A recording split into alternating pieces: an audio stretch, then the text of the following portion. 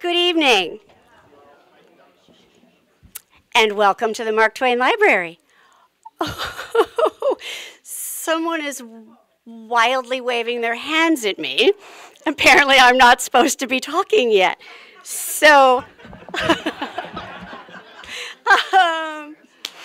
wow. Well, I'll, I'll just I'll just start and um, and I'll keep talking till she waves her arms at me again. it takes a minute for our guest to turn into Mark Twain, so um, we're going to give him that minute. So, I'm Jen Wostrom. I'm president of the Mark Twain Library, and I welcome you all here tonight.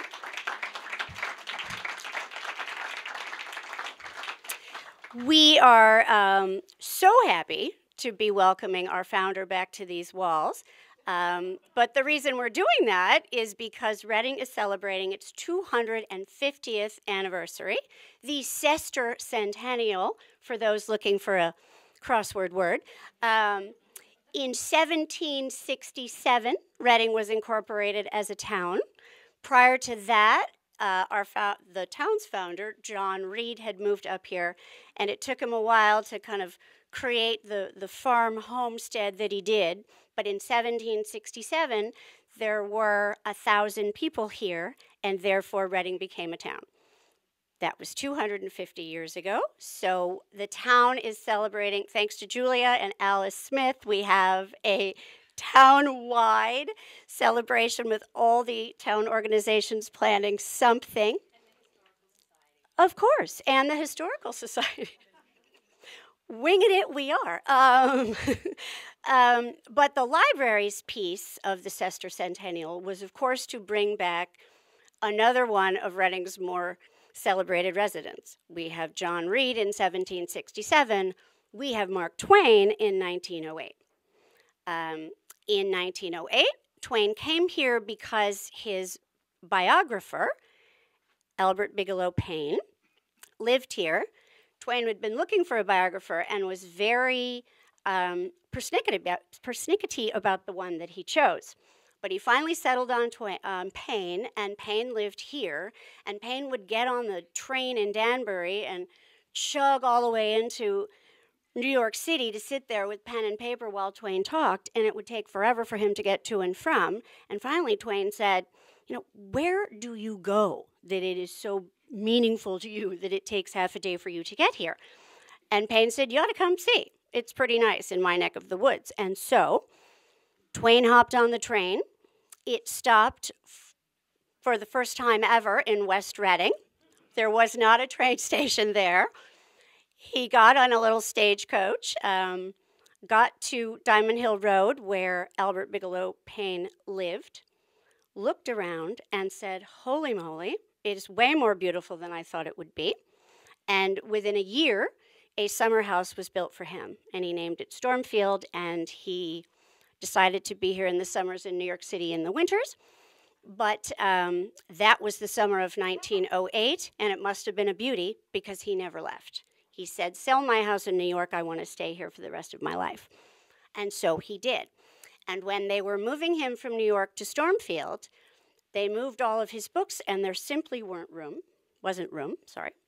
And um, his neighbors by that point had embraced him and he them. And he said, You know what?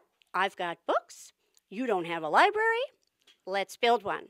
And so he donated 3,000 of his own volumes to build the Mark Twain Library.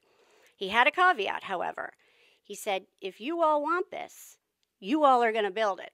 I'm not giving you the money to build the library. I'll give you the books, but I'm not giving you the money.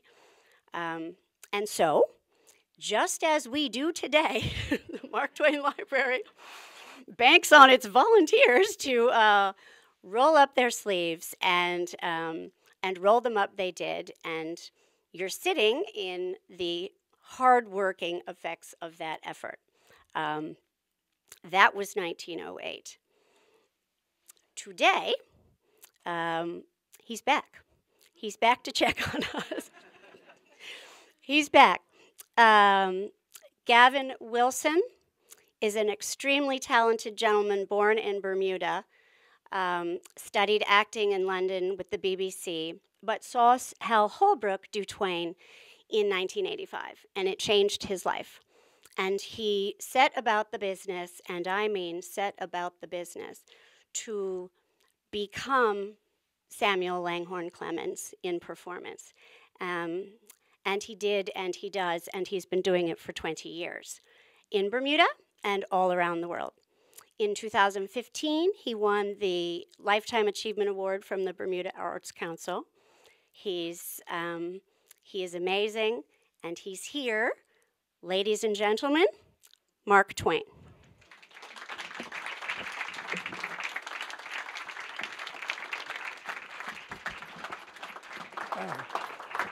Excuse me.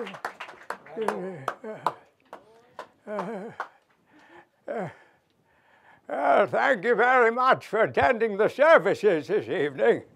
I, uh, I very nearly didn't make it myself. I came by railroad. It was a slow train. Stopped every 30 minutes to catch its breath. And I became so incensed by the delays that when the conductor came around, I gave him a half fare, customarily used for children. Are you a child? he said, glaring at me. No, not anymore.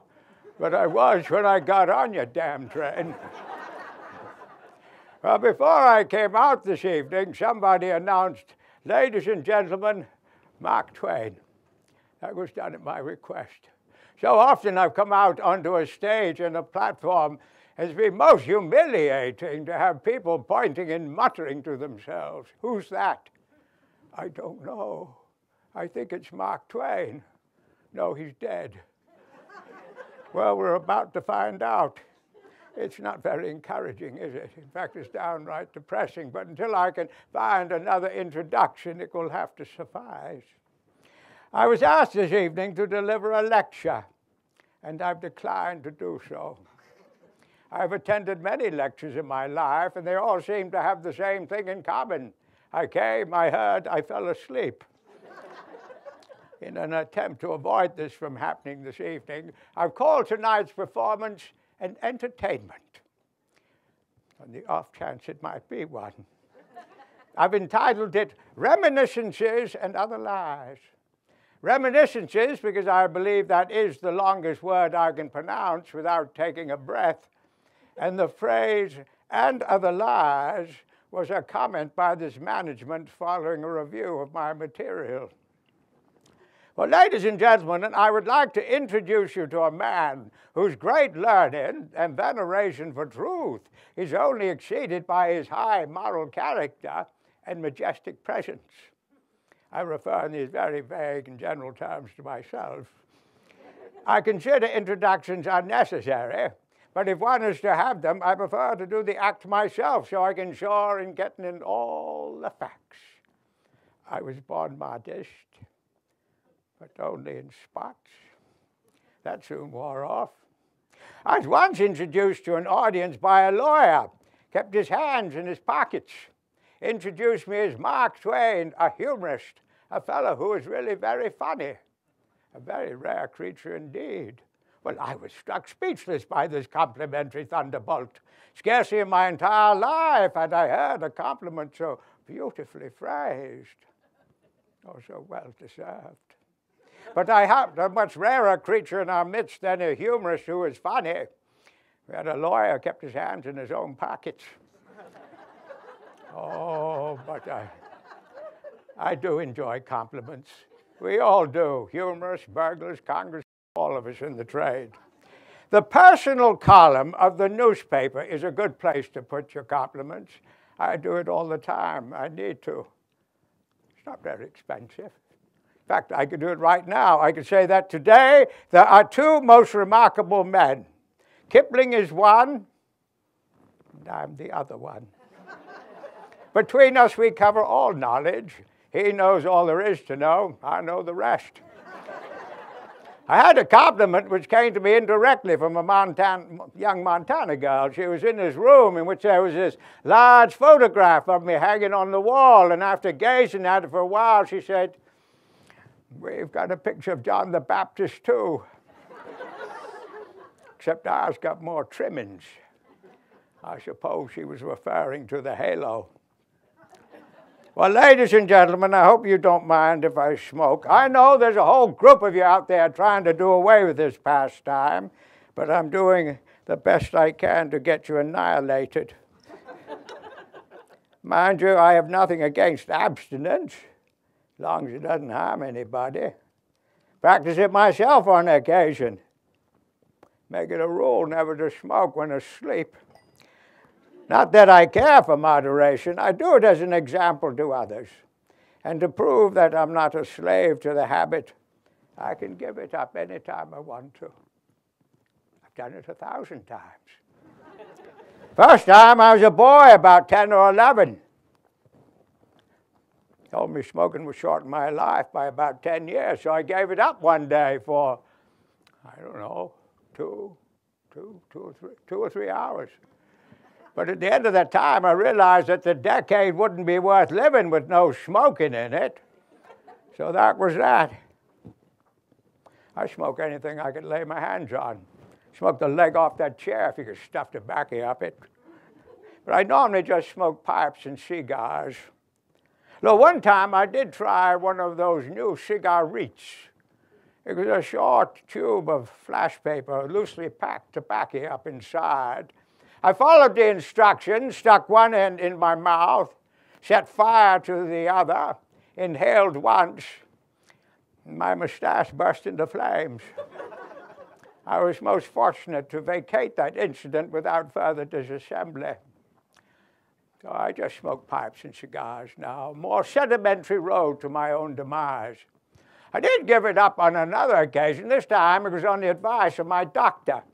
I'd be confined to my bed for several days with the lumbago. And finally the doctor said, Look here, my remedies haven't got a chance considering what they have to fight besides the lumbago. You smoke extravagantly. You eat all manner of things that disagree with each other's company. You drink two hot scotches every night, don't you? I said, Yes, I do. I only drink them as a preventative of the toothache. I've never had the toothache. Now, I don't ever intend to have the toothache. He said, That's all right, but you've got to moderate these things. And I said, I can't, doctor. And he said, Why can't you? I said, Because I lack the willpower. I can cut them out entirely, but I cannot moderate them. He said that would be the answer. So for three days, three nights, I cut out all these manner of things. And at the end of that time, the lumbago was discouraged and left me. I was a well man, so I gave thanks and took to these delicacies again. Well, I had an opportunity to recommend this remedy to an elderly lady friend of mine who'd been going down and down to the point where medicines no longer had any benefit. I said, Look, I can cure you in a week. All you've got to do is give up drinking, smoking, and swearing. In seven days, you'll be on your feet. Why, she said she couldn't give up drinking, smoking, and swearing. I said, Why not? I've never done any of those things. So that was that. she had neglected her habits. She was a sinking ship with no freight to throw overboard. Why, one or two bad habits might have saved her, but oh no, she was just a moral pauper. Um,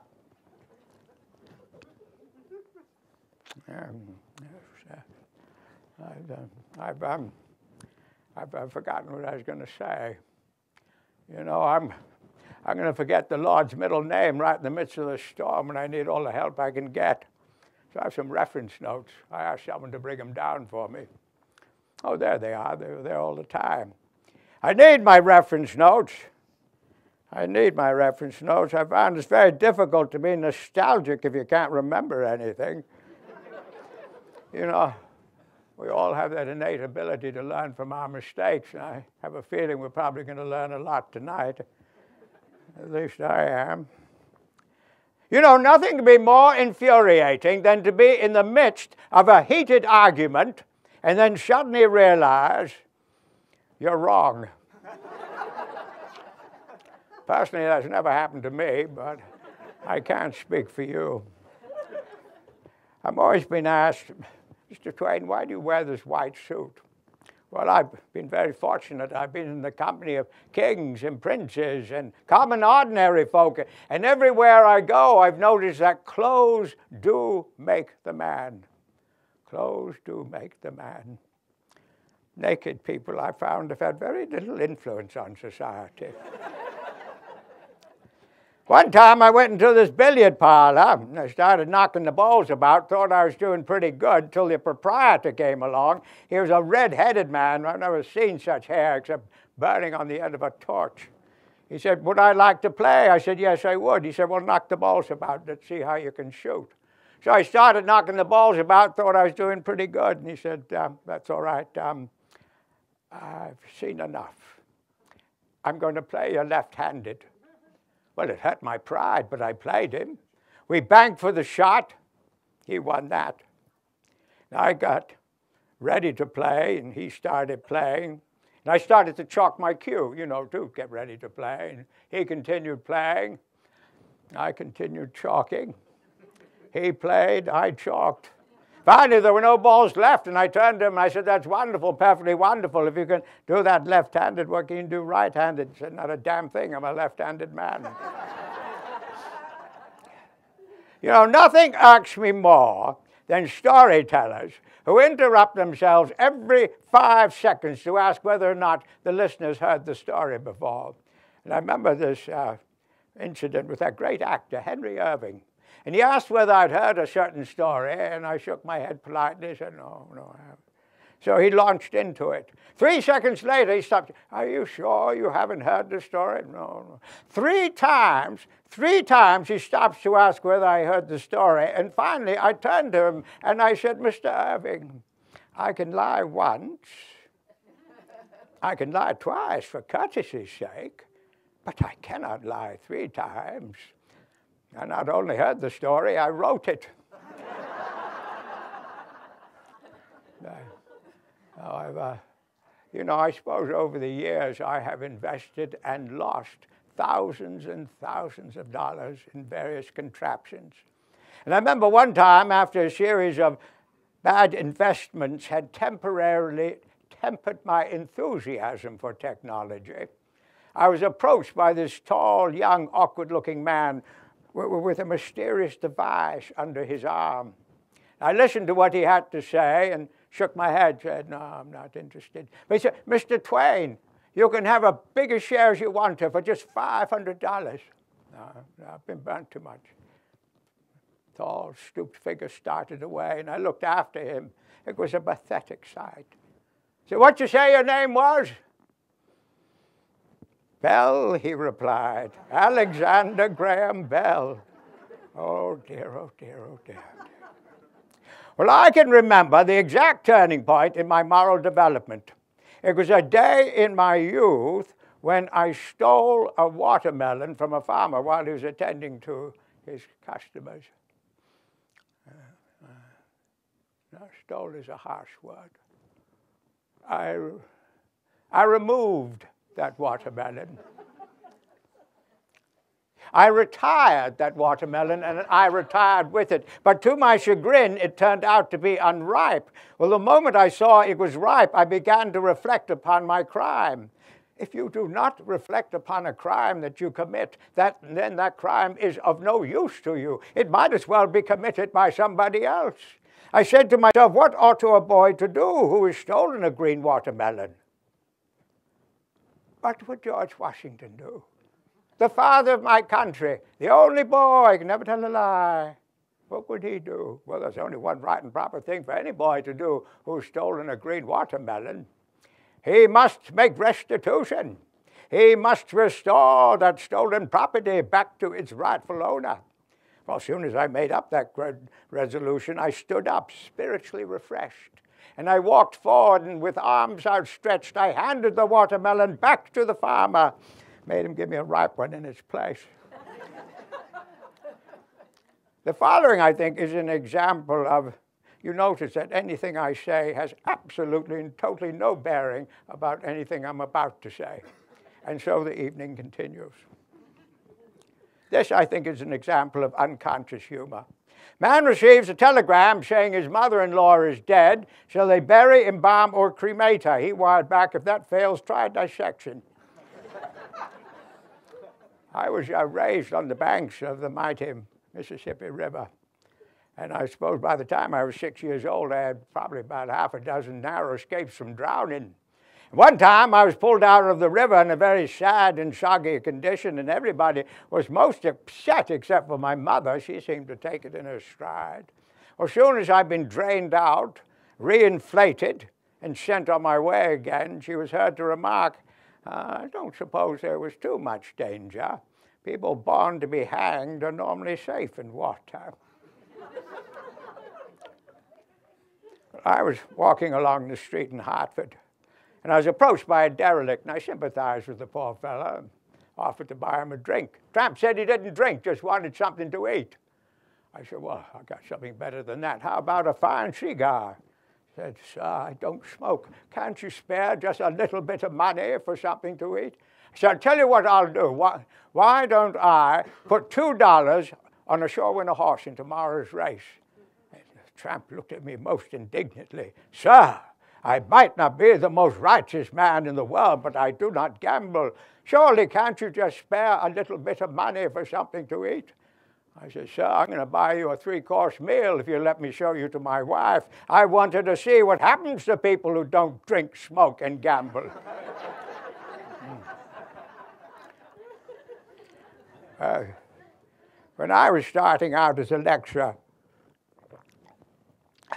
I used to become so vexed by the bubbling introductions I used to receive from local community leaders that I did away with introductions altogether. Introduced myself, similar to what I did this evening.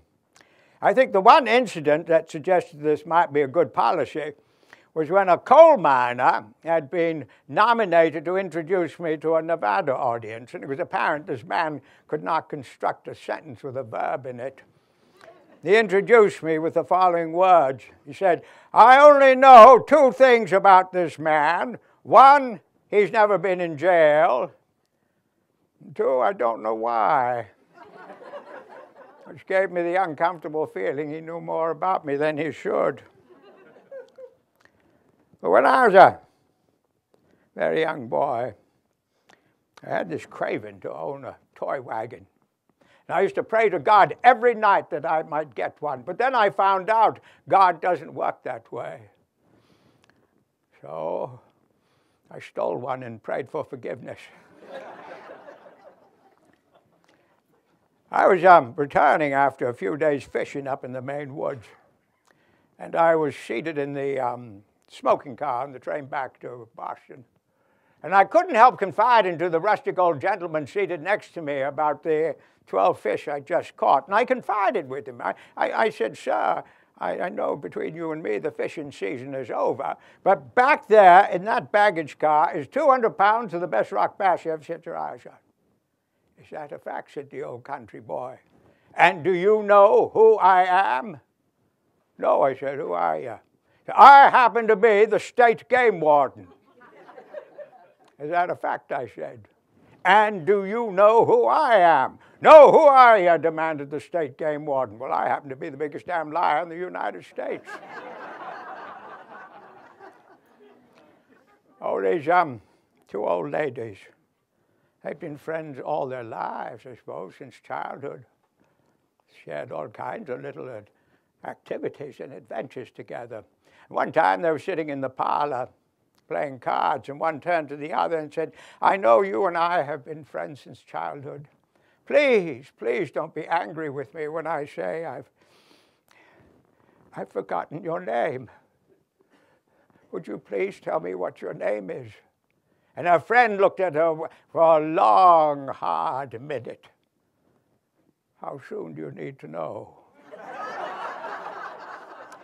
So this rector tells his congregation, next Sunday I'm going to deliver a sermon about lying. And in the interim period, I want you all to go home and read Exodus chapter 41 in preparation for my speech. So everybody went home, and the following Sunday, the rector asked for a show of hands. He indeed wanted to see how many of the congregation had read Exodus chapter 41. And all the hands went up. And the rector smiled. Exodus only has 40 chapters. so I shall continue with my sermon about lying. I think one or two of us got to the end of, to the finish line before the rest of us on that one. I've, um, throughout my life, I've been called many names, many names. One that seems to pop up more often than the other is that Mark Twain is an irreverent man. Mark Twain is an irreverent man. Well, I've been called a lot worse, so I don't worry about it too much. But I was trying to think of an example of why that might be the case. And one example does come to mind. Several years ago, I took a trip to the Holy Land. It was in the company of a group of deacons. I cannot for the life of me imagine why I chose these holy men as my travel companions, but there be as it may. Off we went. We finally arrived on the edge of the Sea of Galilee. And these holy men jumped up and down with excitement and anticipation to sail out upon its sacred waters. And they asked an attending Arab the price to do so 20 shekels. Good gracious. They jumped even higher and balked most vocally at having to part with such a mighty sum of money. Well, the Arab, in defense, reminded these holy men Jesus Christ, your Savior, He walked on these waters. I said, Well, I'm not surprised at those prices. Father Thomas, Father Thomas, a friend of mine, he, at one time he went into one of those lowly Boston taverns. He went up to one of the patrons and he said, Sir, is it your desire to go to heaven? Yes, Father, indeed it is. Good, go and stand up against that wall. He then went up to another patron, asked him the same question. Sir, do you wish to go to heaven? Yes, Father. Join the gentleman standing up against the wall. He then went up to Mr. O'Toole, a most despicable wretch of a human being. Sir, do you want to go to heaven? No, I don't want to go. Am I to understand that when you die, you don't want to go to heaven? Oh, when I die, yes, I do. I just thought you're putting a group together to go now. yeah. yeah, yeah. Well, I once heard the celebrated Jim Blaine tell his remarkable story about his grandfather's old ram. Now, Jim Blaine had that sort of memory that was so good it could defeat any, any attempt he would make to march a straight course. And any time he came across the name of a person or thing that had absolutely nothing to do with his story, he would stop and tell all about it. And as he plodded along, he would get further and further away from his grandfather's remarkable story about the old ram. I found him sitting on an empty powder keg smoking My grandfather got that old ram from a feller up in Siskiyou County, fetched him home, and set him loose in the meadow, and went down the next morning to look at him and accidentally dropped a 10 cent piece in the grass and was bent over fumbling in the grass looking for it. And the ram the ram, he was up the slope taking notice. But my grandfather wasn't taking notice because he had his back to the ram, don't you see? And Smith of Calaveras was standing there. No, wait a moment, it wasn't Smith of Calaveras, he was a Baptist. It was, um, it was, it was, it was Smith of Tulare County. Yes, of course it was, perfectly clear.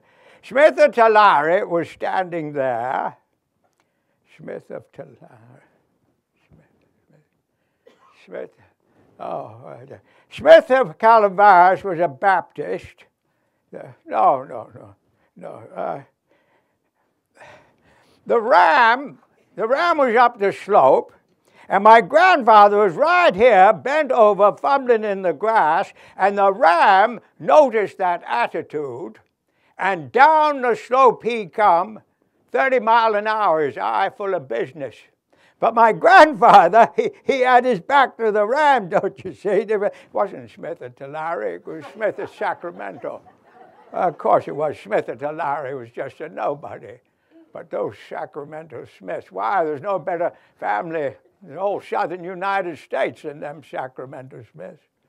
No better blood south of the line than them Sacramento Smiths.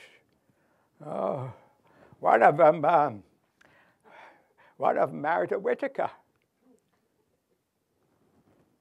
What do you say to that? One of them married a Whitaker, Maria Whitaker. There's a girl for you, just as sweet and gentle and lovely, generous. Why, if she had a thing, if she had a thing and you wanted it, you could have it. Have it and welcome. She had a, she had a glass eye, and she used to lend it to Flora Ann Baxter that didn't have any to receive company with. Now, Flora Ann was quite large, and the eye didn't fit. It was, um, it, it was a number seven and she'd been excavated for a 14. So the eye, eye just wouldn't lay still. Every time she winked, it would roll over. But it, was a lovely eye. Showed it uh, her no purpose. It was painted a lovely blue on, on, on the front side, you know, the side you looked out of. But it was gilded on the back side. Didn't match her other eye, which is one of those browny, yellowy eyes, you know, quiet and tranquil, you know, like those eyes are. But uh, well, no matter, they seem to work out all right and plenty picturesque. Why, when Flora Ann got excited, that hand painted eye would take a whirl and the other eye would look right at you. And the more excited she got, the faster the eye would start whirling, flashing blue and yellow and blue. Grown people didn't mind, but it, it made the children cry. it was quite scary. Well, Flora Ann married, um, married a missionary. No, she didn't. No, no, who was that? That was Sally. Little Sally, little Sally Hagedorn. Yeah, she married a missionary.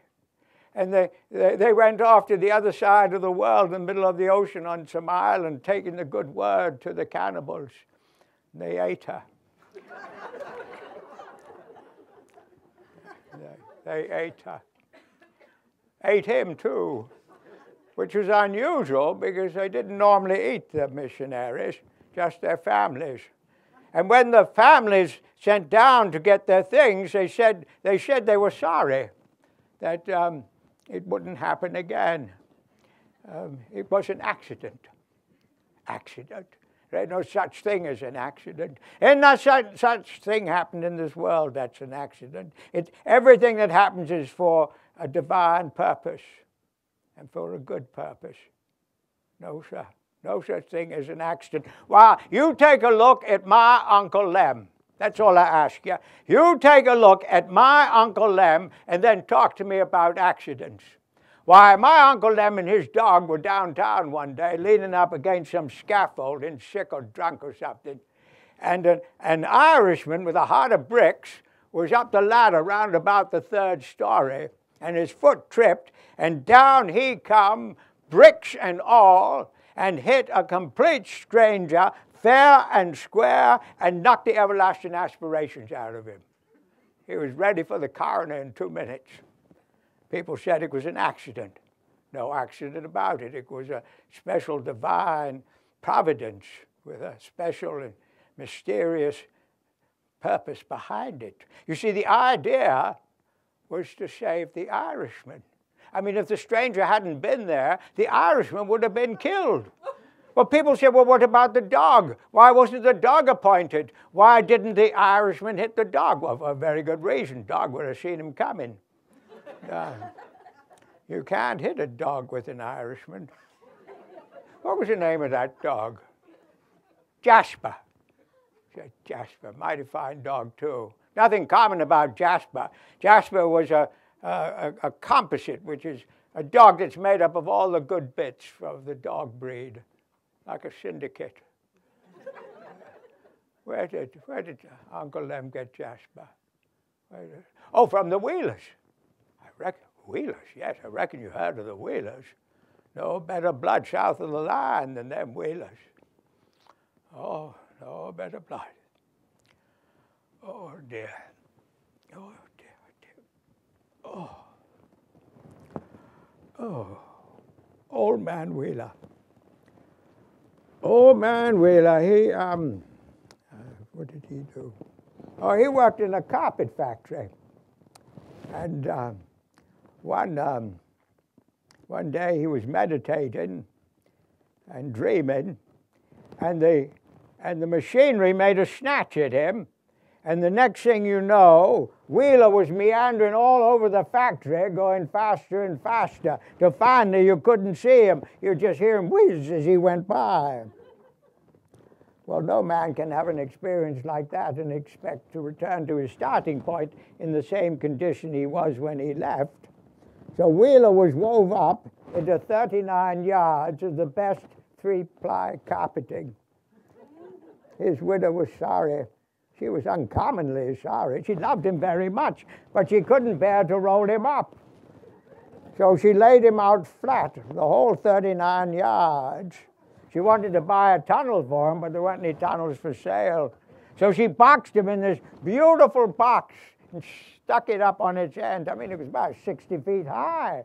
So it was like a memorial and a grave, so I suppose it was quite economical.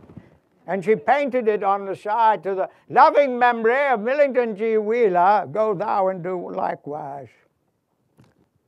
But at this point, Jim Blaine always fell asleep, so he never ever found out what happened to his grandfather's old ram. Ah. Uh, you know, standing on the world's literary stage, one is always approached by people who say, Mr. Twain, are you the man who said giving up smoking is? I say, yes, I am. I am the man who said it. In fact, I might be the most famous man to have said it, but whether or not I'm the first, I don't know. We're always borrowing sparkling comments from each other. That's called plagiarizing. Mind you, you take a whole bunch at once, it then becomes research. But nothing annoys me more than to read a quotation written by Anonymous. Because so often that quotation is so rich in texture and profound beyond common thought, and to be relegated to the corner of anonymity is a total travesty. So, I've loaned my name to the great cause. So, anytime you read a quotation written by Anonymous and you like it, it's funny, it's witty, it's entertaining, think of Mark Twain. I won't mind. Indeed, one of my most favorite is always, always attempt to do the right thing. It will gratify some but astonish the rest. I thought that was very clever and entertaining. Then somebody told me I'd written it. I just forgot. Even Caractacus, the barbarian who revolted against Rome, is one of a long list of historical characters accredited with the slogan, Death before dishonor. Except modern scholars believe he probably just meant it alphabetically.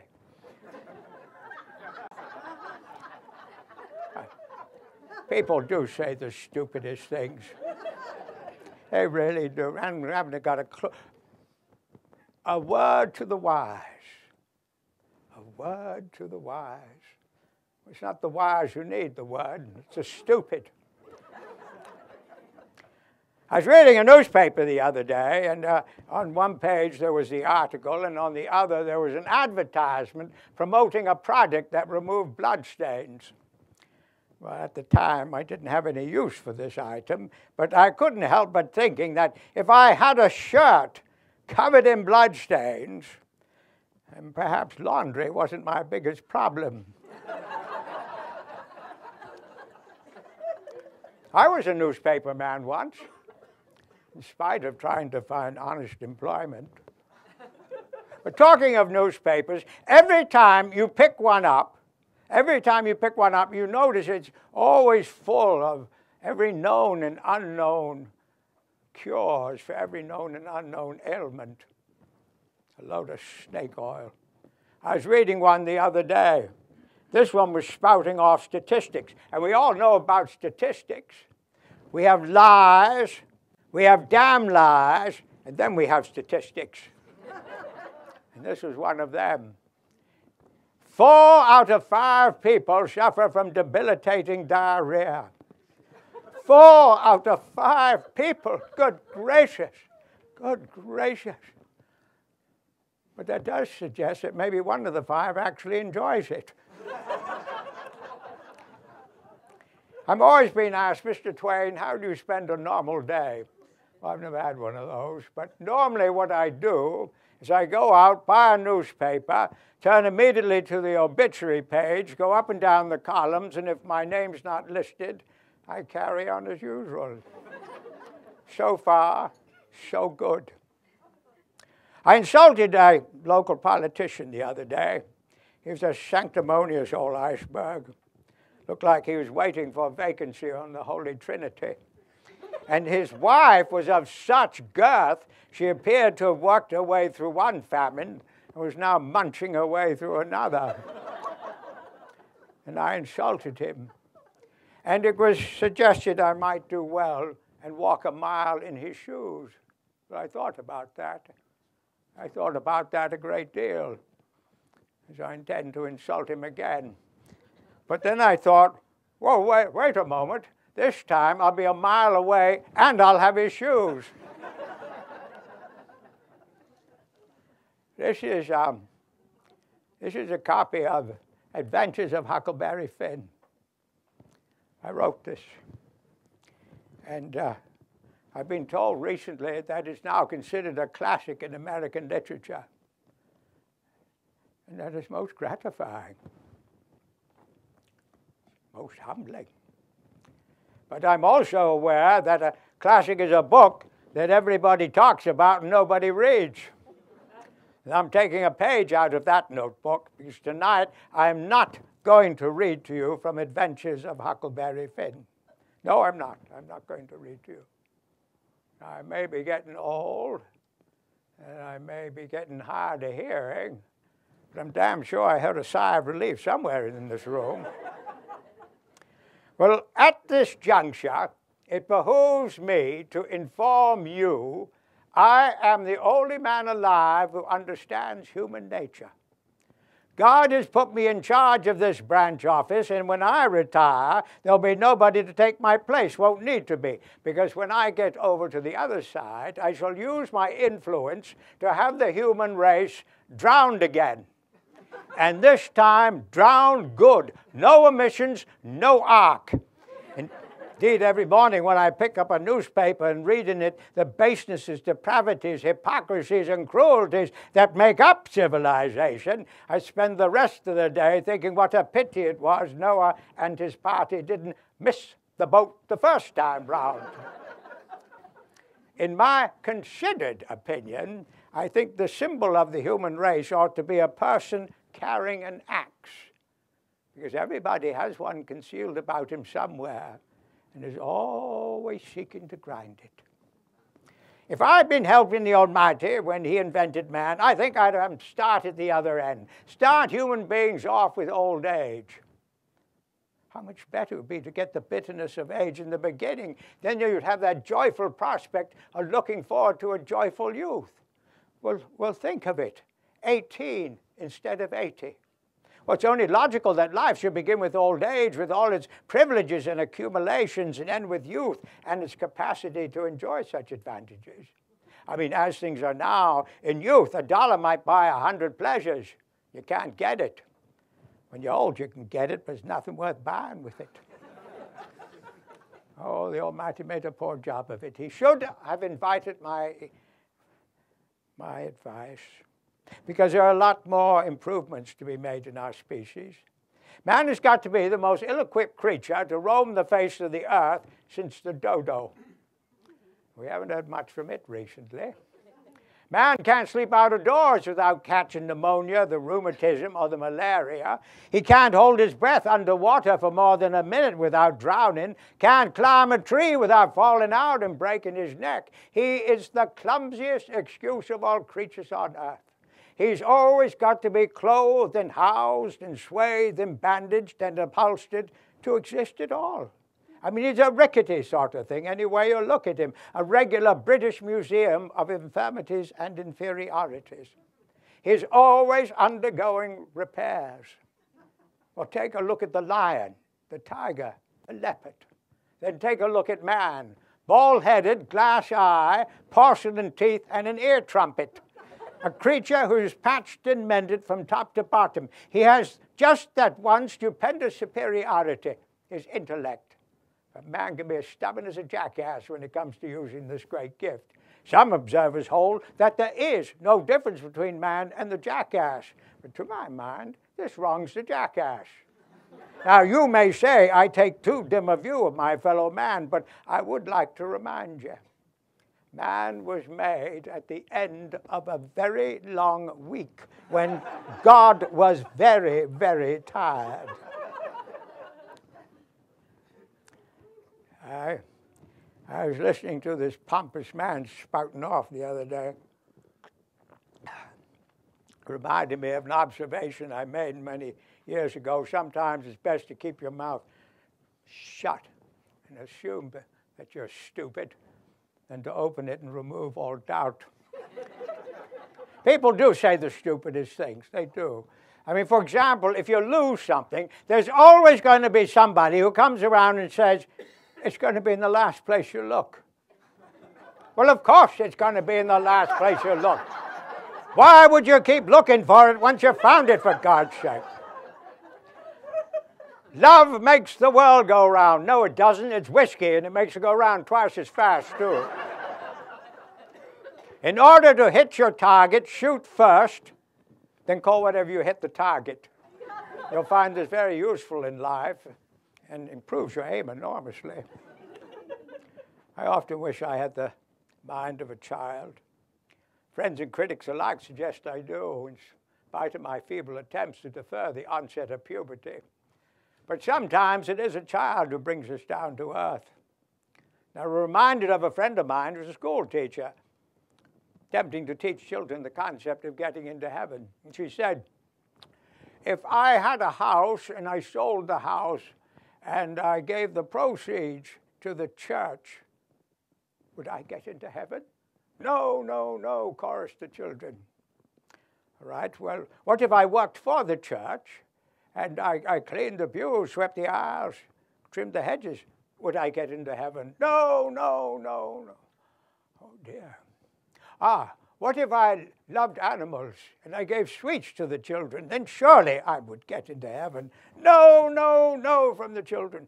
Well, then, how do I get into heaven? And a little boy, six years old in the back, jumps to his feet, his arms waving wildly. You've got to be dead. Yes. I did. I, I, did forget about that one. I remember uh, thinking myself as a schoolboy, I wasn't very good. I wasn't good at anything, actually. No, I was good at uh, failing exams and getting into trouble. Teacher appoint a ruler. At the end of this ruler, there's an idiot. I said, well, which end? the exams we used to have were most peculiar. They one of the great achievements of ancient Romans. Well, learning to speak Latin, I thought, be one. Question two Where was Hadrian's wall? I always believed it went around his garden. Question three Where was the Declaration of Independence signed? I said, Well, at the bottom. that was considered almost a blasphemy. You know, being a man has advantages, but being a woman has advantages too. Women can cry in public. They can wear from a wide assortment of clothing. Best of all, they're the first to be rescued off sinking ships. But there are some disadvantages. Women have to work twice as hard as men to be considered half as good, but fortunately for them, that's not very difficult. you know, I have visited the United Kingdom of Great Britain on numerous occasions, and I have come to the conclusion that therein lie four different races. You have the Scots, who keep the Sabbath and anything else they can lay their hands on. you have the Welsh, who pray on their knees and on their neighbors. You have the Irish who don't know what they want and are prepared to die for it. And then you have the English, who've been a race of self made men, have thus alleviated the Almighty of an awesome responsibility. I was in Hartford recently. And I went into one of these, it was a magnificent municipal building, and I walked into it, and on the right side, was a, no, no, it was on the left side, it was on the left side. There was this bulletin board, and it was divided up into three sections. And the first section was a, um, a series of upcoming social events. In the middle, there was a list of, of trials. And the third was made up of a photographic gallery of, of wanted criminals. And a young schoolboy was standing there staring at the photographs. And he pointed at one. And he said, Is he a wanted criminal? An attending policeman leaned over and said, Oh, yes, indeed he is. We very much would like to get our hands on him. The schoolboy pondered this and said, Well, why didn't you keep him when you took his picture?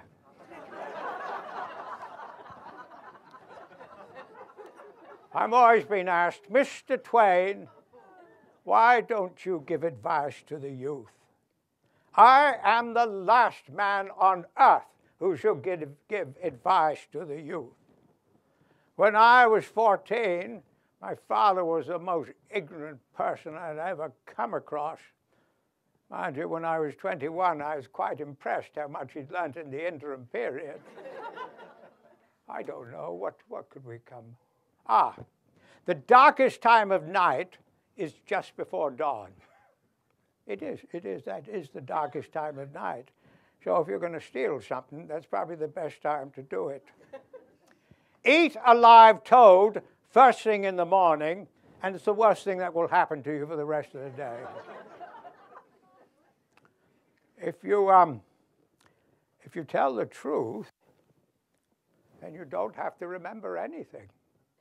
That's the truth.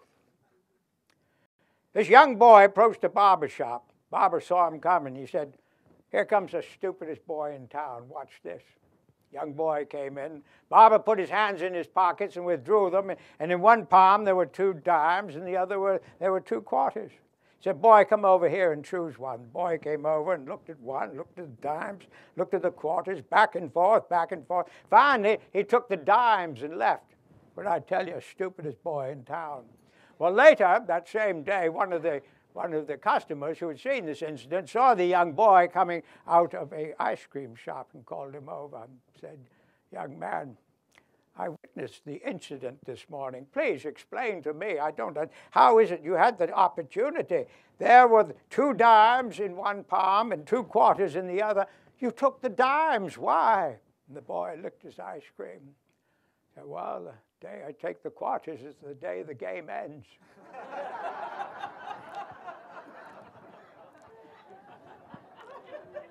you know, it's always a good policy to tell the truth, unless you happen to be a damn fine liar. And then there's that ability to distort the truth, to twist it. So it's um, like a, a gnarled arthritic claw. I'm very good at distorting the truth. I've had formal education. I've watched Congress in action. But I would like to by way of example, show how to distort the truth. And by way of that example, I offer up Caroline McCoy. Now, Caroline McCoy is a um, friend of my wife's. They were both uh, members of the same literary club back in Hartford. And Caroline was doing some research on her family, and she came across a cousin of hers, Congressman Reed Harrison. Now, Reed Harrison, in turn, had a cousin, Remus. Remus Harrison, horse thief, train robber, hanged him in the Montana Territory, 1889. Well, the only known photograph of Remus was in the possession of Caroline, and it was taken on the gallows. There it is, there's Remus on the gallows. And on the back, there was an inscription that said, Remus Harrison, horse thief, sent to the Montana Territorial Prison in 1885, escaped in 1887, captured by the Pinkerton detectives tried, found guilty, and executed in 1889. Well, Caroline sent this photograph with the inscription off to the good congressman to see whether she, she could get additional information about their villainous relative. Well, the weeks and months went by, nothing happened. Finally, a letter arrives, a letter from the congressman, beautiful letterhead from the office of the congressman, etc. But it wasn't from him personally, it was from someone in his office. Now, keep in mind, this is an example of how to distort the truth. I you know, I know you know that. I'm just saying it so I can figure out what it is I'm trying to do. And the letter said, Madam, in response to your query about Remus Harrison, we offer up the following. Look down further, Remus Harrison. Remus Harrison was a famous cowboy whose business empire included the acquisition of equestrian assets and intimate dealings with the Montana Railroad. In 1887, he devoted several years of his life to government service before returning to resume intimate dealings with the Montana Railway. In 1887, he was a key player in a vital investigation run by the renowned Pinkerton Detective Agency. But in 1889, sadly, Remus passed away at a public civic function at which he was the guest of honor when the platform upon which he was standing collapsed. Well, now it's time to go. My feet are tired, and you're, you are tired. I came in in 1835 with Halley's Comet. Coming again pretty soon. I hope to go out with it. It would be the greatest disappointment of my life if I did not go out with Halley's Comet. The Almighty surely remarked, These two indefinable freaks, they came in together. They must go out together. Oh, I'm looking forward to that. But back to more pressing matters. There is no worse death than to be talked to death. And I fear your lives are in imminent danger. I bid you all good night.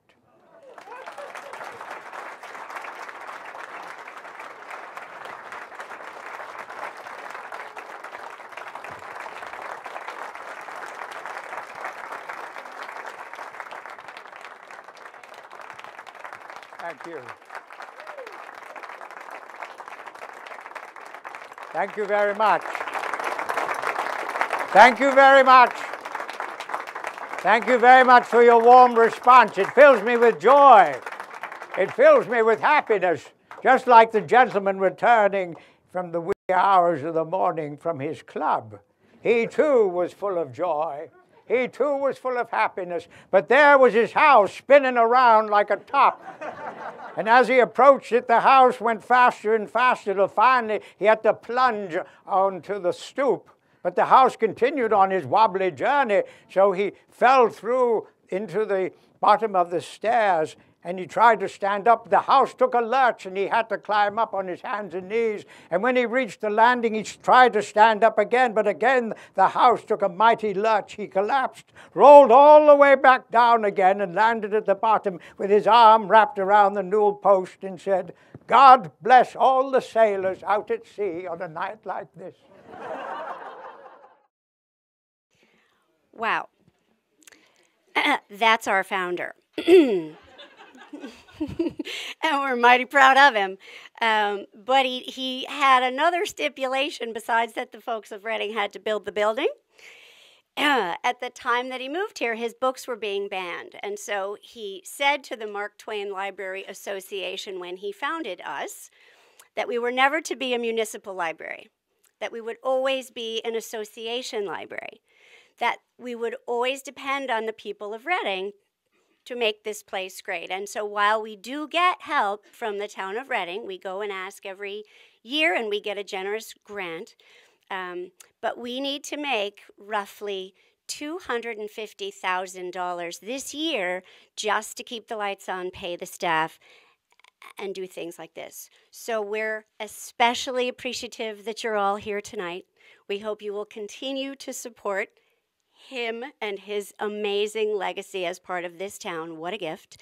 Um, Mr. Twain will turn back into Mr. Wilson and be upstairs at a reception in a few moments.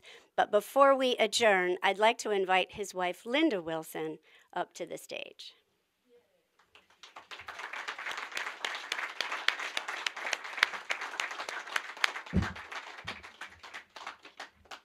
Thank you, Jen. The past couple of days here have been amazing. We've had such a great welcome from everybody at the library. We've met incredible people. We've learned so much about Mark Twain that we didn't know. And we've had an opportunity to see things and hear things that have really deepened our knowledge of Mark Twain and certainly the library's commitment to Mark Twain. There's a lot of interest in Bermuda about Mark Twain and the time that he spent in Bermuda. And there's a lot of interest in Redding about the time he spent in Bermuda because he returned from Bermuda to Redding and passed away in Redding. So Bermuda was his last trip. What we hope to do going back to Bermuda is to try to bring together the Bermuda Redding story and bring together something that will be rich for Bermuda and for Redding.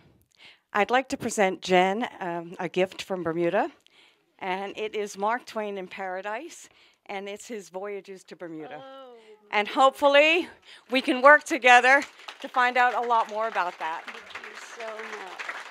Thank you. Wow. Thank you. You're very welcome.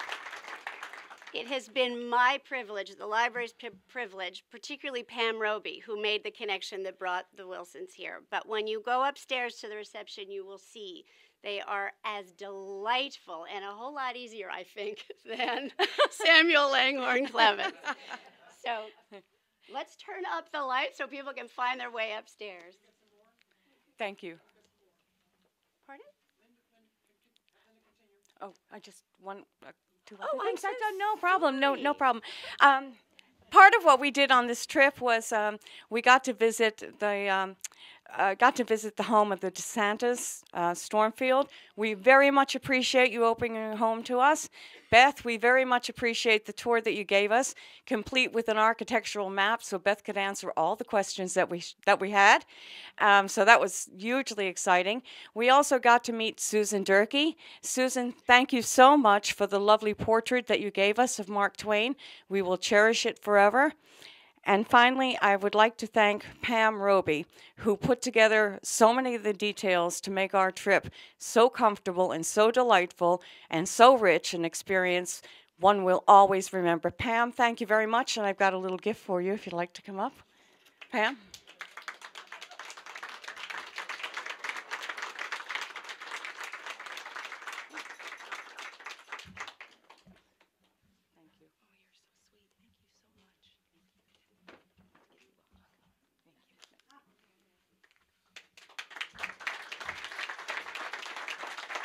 Okay, and I think we can all uh, join each other for drinks upstairs. Thank you.